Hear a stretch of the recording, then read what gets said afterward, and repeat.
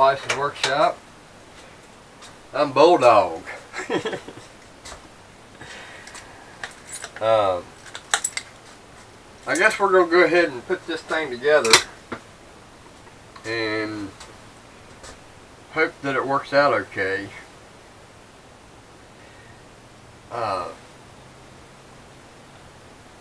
I've got all the parts cleaned up and the best that I'm going to do uh, watching TV before I walked in, out here to the shop and the news is on and all of a sudden I hear this uh, about Trump getting something stuck to his shoe walking up the ladder to the plane as if that was a sin that he had something stuck to the bottom of his shoe and the first thing they go for is it was toilet paper. They i'm telling you man these people take no freaking uh, missed opportunities to fuck with our president man. Leave him the hell alone people. Jesus christ man. So he got something stuck on the bottom of his shoe. Big fucking deal I, don't understand what why what the hell's going on with this country today, man. But it's just it's unbelievable. Yeah, uh, that could have happened to anyone. And then they're saying, well, why didn't somebody tell him about it? Because no one cared as much as the media did. Media's just looking for a reason to get him impeached. I guess that's impeachment reasons. Oh my God, he had something stuck to his shoe going up the ladder. We better impeach him. Anyway, enough of that. That just drives me nuts. We may have some problems on this. I don't know yet. But we'll go ahead and put you guys down here. So that you guys get a bird's eye view of what we're doing.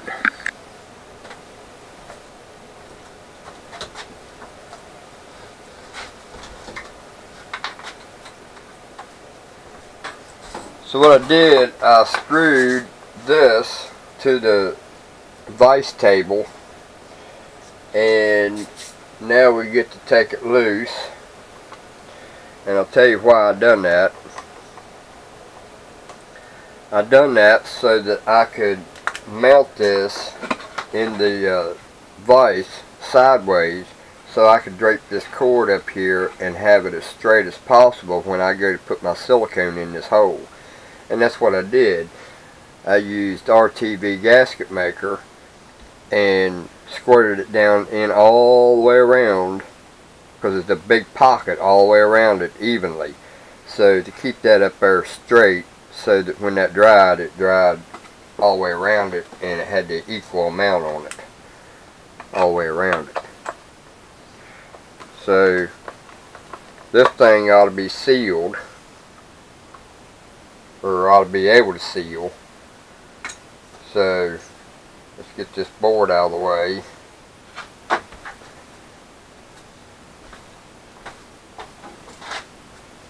And then we're going to take our Dremel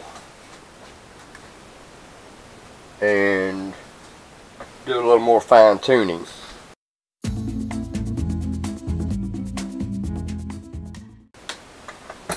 Alright, so they're nice and clean now. Alright, where to start?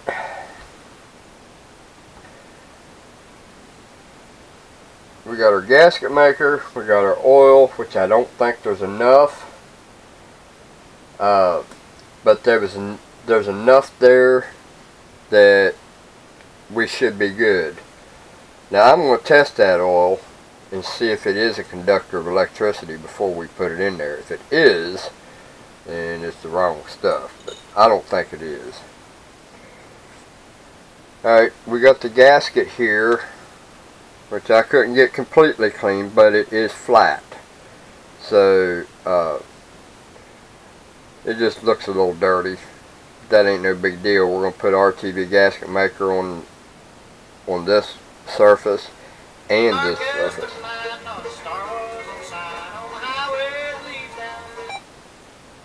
I don't know why my radio's starting to do that. Now my radio's starting to come on on me by itself. So, first thing we need to do, I couldn't get this any cleaner. That's as clean as it'll come. Uh, first thing we need to do is work with this piece. So we want to go ahead and put this armature in here. And we're just going to take a little brush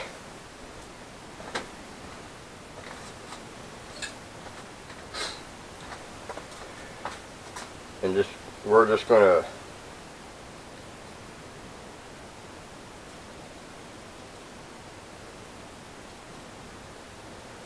just oil it with that.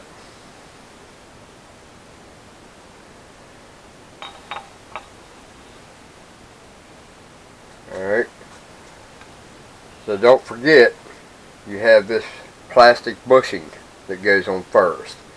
That goes on there and goes up against that.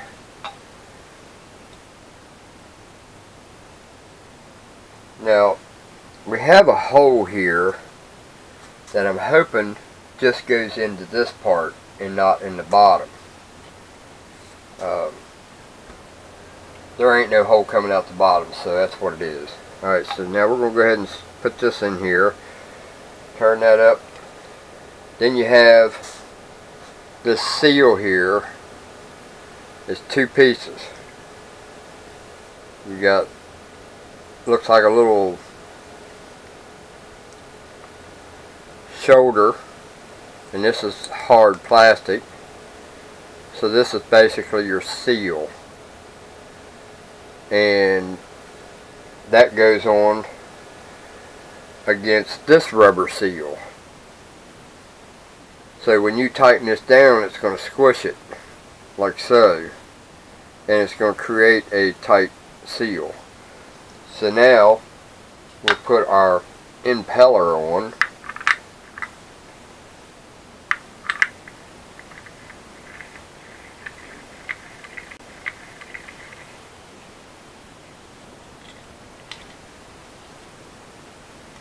Alright, so now we've got that on there.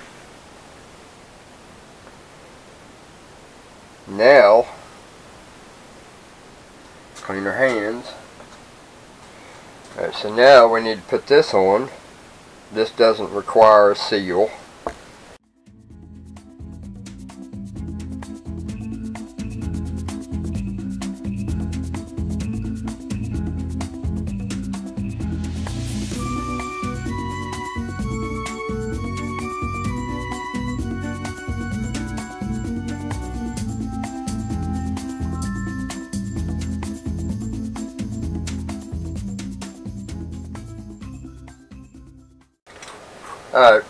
I wanted to show you what I did to straighten these threads out.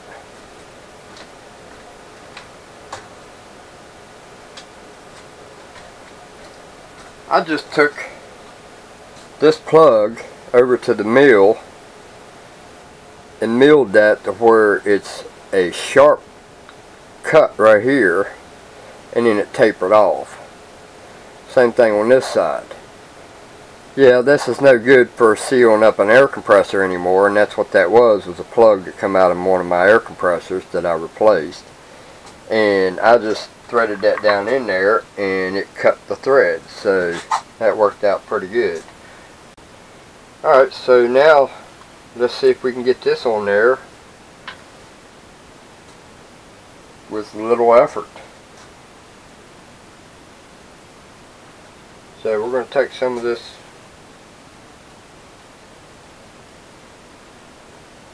oil here and put it in the hole inspect stuff. Uh, let's check make sure these um, screws here are tight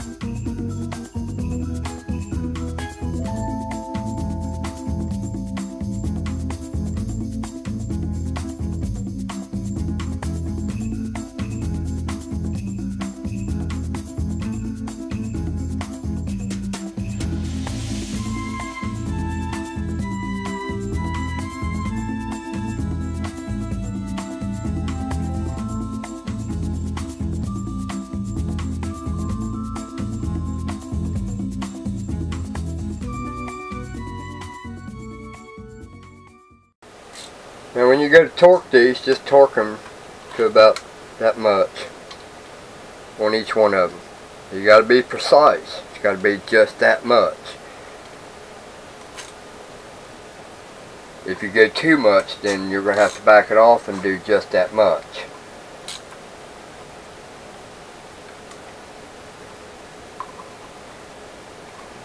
Did anybody understand that? Alright, got that. Alright, we've got this sealed. Now we need to take care of this. Uh, that thing needs to be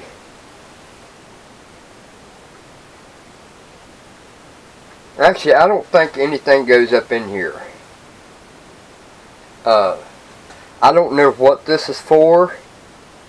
I just don't believe that this is supposed to have uh, the same oil in it. So, I don't know.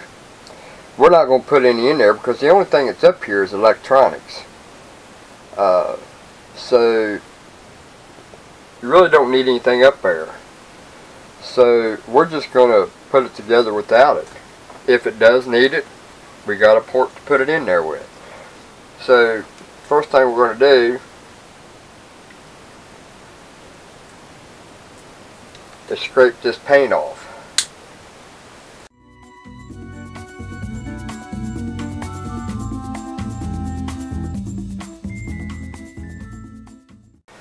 Alright, so now we're going to take some some old wore out 180 and we're just going to sand lightly all around that.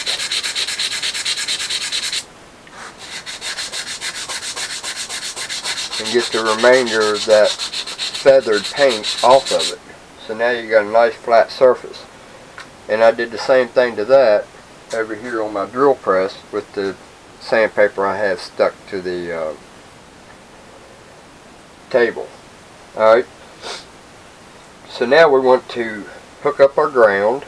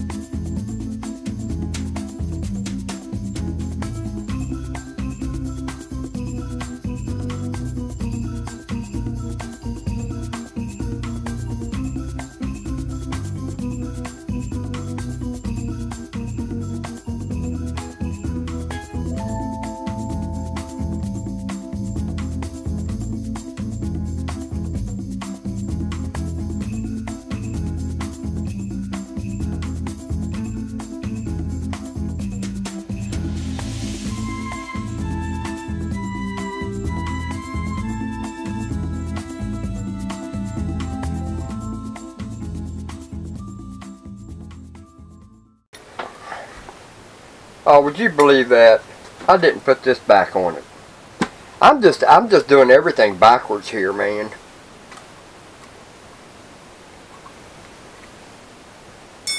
I gotta take that back off.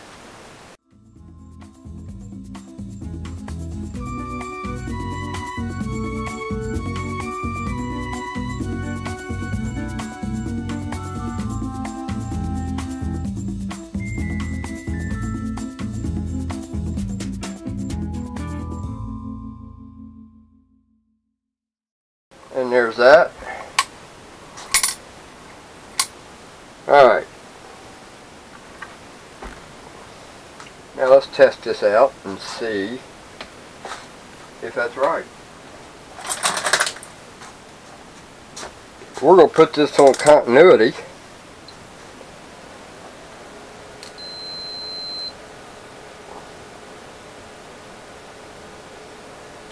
No continuity.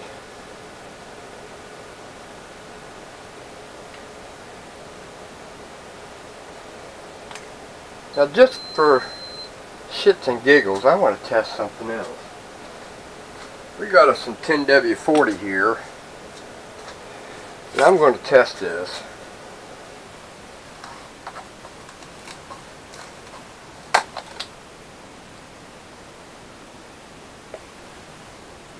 I want to see if it is a difference. Now you look at that. 10W40. Motor oil. You can see that it's in there.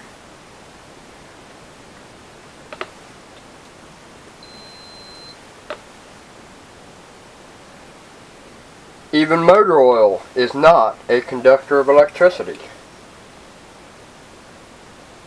You just seen it first, right here at Bison Workshop. This is motor oil, regular 10W40. You just seen me open it and broke the seal on it. 10W40. Premium motor oil. I've got the red in it. I've got the black in it. No continuity.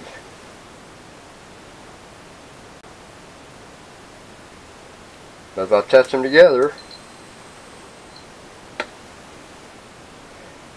yeah, I think that uh, bullshit of having to have a certain oil is just another ploy to get people to buy something that's more expensive than they can afford. Yeah, that's what I believe is going on. Uh, we just proved that motor oil is not a conductor of electricity either. The only difference that I can see between motor oil and that oil is that that oil is thinner than this oil. Actually, I probably could have put that in my, uh, matter of fact, let me go ahead and fill my container here.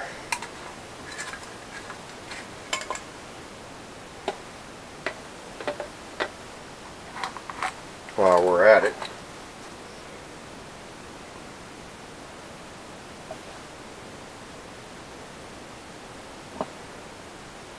Don't want to overfill that thing because if you have to put your plunger in there, you're going to push it up out of there. This one here is actually my favorite one. That other one, it loses its prime. This one here doesn't lose its prime. But it keeps getting oil all over the top of it, and I don't know how that's happening, man. It's driving me nuts. I don't even have to use it and it gets oil all over the top.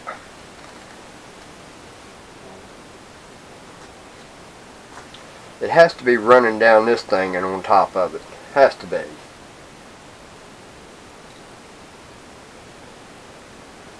Anyway, we're getting off the subject here.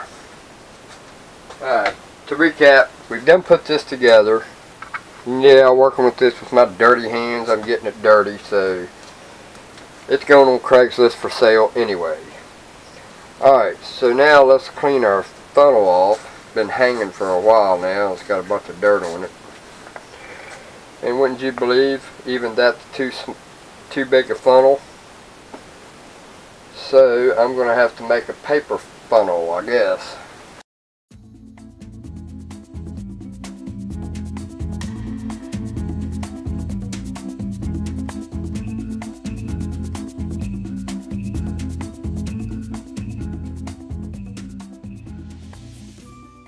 Let's go ahead and put our plug back in it.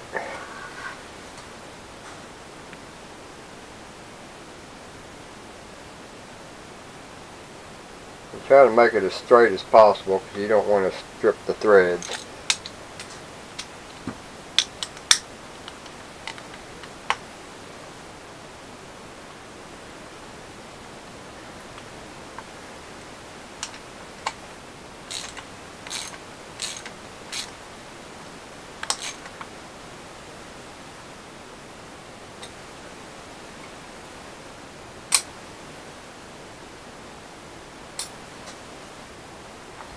Alright.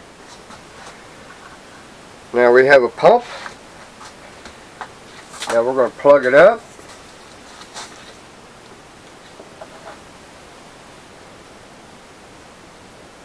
And right now it's in the off position.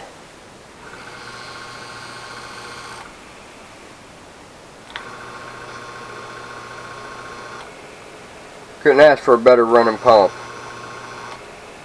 But there you have the uh, pump build. And this is a Model 53D third horsepower.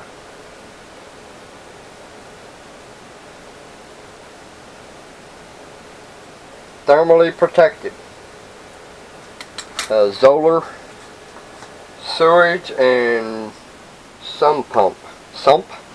Pump? So a bit of news for the Bison Workshop is I was informed, now I don't know if this is going to happen or not, uh, I might be putting the cart before the horse, but it seems that Bison Workshop is going to have a another shop visit from another YouTube shop. So I'm not going to tell you who it is. Uh, if it happens, it's going to happen next week. So I got to get my house clean. I got to get my shop clean. Got to do all this stuff. so uh, I ain't got much to do in this shop. Just clean up a little bit here and there. I got some clutter back there I need to get rid of, but that ain't no big deal. Uh, so anyway, there's Bison's take on the uh, Zoeller M53-D sump pump rebuild. Uh, it's basically it, it, basically wasn't a rebuild so to speak it's just a cleanup and repaint uh, because if I was rebuilding it I would have replaced all the seals in it I did not uh, and I actually didn't see that seal that's on the bottom on eBay. I looked for all the parts for this thing. I looked for a rebuild kit for it. Uh, I didn't see one of those. And, you know, for, for what I'm going to get out of this thing, I've already put more than it's worth in it. If it, if it doesn't work, if it leaks, then yeah, I can't I can't sell that to somebody because if I sell it to somebody, it's going to come back on me, and I don't like stuff coming back. So it's not worth worth the risk. And I've got a damn stink bug running around here again, thinking he's king of the world. He's going to find out that he's the king of Turd Mountain because he's getting ready to get the shit. Then anyway, uh, don't forget to like, share, comment, subscribe. We're going to call this a a success on the cleanup part, but a fail on the seal part. I, am almost certain that seal is leaking. I still don't see no fluid. I, I'm sure it must have been, I just, maybe I spilt some on it, I don't know. But I don't see any any more fluid. So we're going to leave it set in that pan overnight and if it doesn't leak then yes it's a success all the way around. Uh, it probably just needs to work a little bit because we've disturbed everything and it's got to realign itself. The, the bushings hit that spot that needs to be uh, or the uh, seal it spins on that shaft so maybe it just needs to work itself around and and uh, let me uh, run that a little bit more. But anyway while I'm doing that you guys have a good later